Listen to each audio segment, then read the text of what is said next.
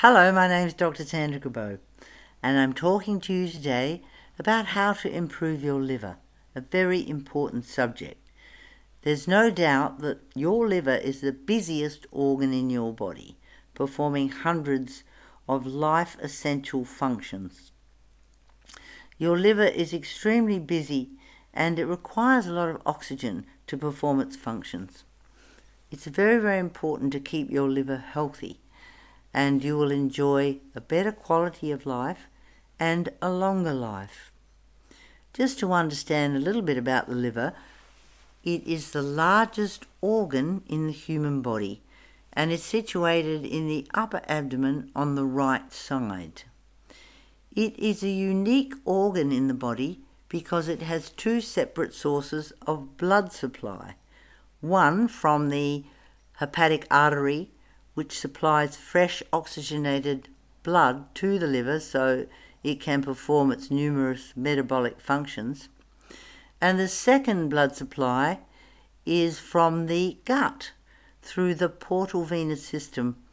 And everything you ingest is digested and absorbed from the gut and goes straight to the portal venous system where it is transported back to the liver and your liver processes the nutrients. So you could say the liver is the gateway to your body because nothing gets into your body from your gut without first passing through the liver. So let's look at my liver checkup. How can you check your liver?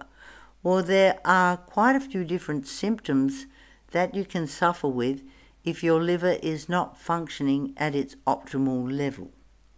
And these symptoms are quite diverse and varied. And this is why often the liver symptoms get missed. In other words, the doctor may not recognize that some of the symptoms you have can be traced back to an underfunctioning liver. Now, some of these symptoms can be caused by diseases that have nothing to do with the liver, and so we are not saying categorically that these symptoms diagnose liver disease. But if you have four or more of these symptoms, it's highly likely that your liver is not functioning at its optimal level. So let's look at some of these symptoms that could indicate your liver needs help. Do you have difficulty losing weight? Or do you have unexplained weight gain? Have you got excessive abdominal fat, such as a pot belly or a roll of fat around the upper abdomen, which I affectionately call the liver roll, as some people call it a muffin roll? Do you have discomfort over your liver? Remember, that's in the right upper abdominal area. Are you overheated? You can't cool down. Do you have excessive sweating? Have you developed chemical or food sensitivities and intolerances and increasing allergies? Do you have excessively high cholesterol or triglyceride levels in your blood? Do you have fatty yellowish coloured lumps under your skin? These are called xanthelasma. Do you have red and or itchy eyes? Do you have dark circles under your eyes? Have you developed skin problems such as very itchy skin, rashes, hives, or brown liver spots, which are sometimes called age spots, but they can occur in younger people if their liver is not working efficiently? Do you have problems with your gallbladder? Because remember, the liver makes the bile that is stored in your gallbladder. So if your gallbladder is playing up, it could be that your liver is not making healthy bile. Do you have problems with your moods? Are you quick to anger? And this is an interesting symptom because metaphysically, the liver is known as the seat of anger. So if your liver is overloaded or toxic, this could reflect in angry moods, irritability, short temper. And when you improve your liver function, your mood will improve.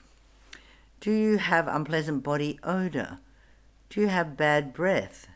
Do you have a coated tongue? Do you have hemorrhoids? Do you have type 2 diabetes and find it difficult to control your blood sugar levels? Are you very tired and yet you've had blood tests and x rays and no cause for your fatigue can be found? The liver is the metabolic furnace of the body, and if it is not performing well, you can be very, very tired. Do you overindulge in alcohol or sugar or fast food? In other words, do you enjoy the good life too much? Then this could be impacting on your liver. So if you have four or more of these symptoms, I highly recommend you have a blood test for liver function. And you may find that your liver enzymes are elevated, indicating liver inflammation. Now, some people will have normal liver function tests even though they have four or more of these symptoms, and that is because their liver has not yet become inflamed. But because they have these symptoms, it's a sign that their liver is struggling, even if their blood tests are normal. But it's a good idea to have the blood test. You can also have an ultrasound scan of your liver, and definitely uh, talk to your doctor about these symptoms, but modern medicine often treats the symptoms of liver dysfunction with medications and doesn't realize that really it's very important to improve the liver function and treat the cause. Now, if you have more questions or want more information, please email us from liverdoctor.com or sandracabot.com. We love to get your emails. And also follow on with our series of liver presentations where you will learn everything about the liver and it will give you a deep understanding of how to improve your liver. Thanks for listening and this is the end of our first presentation.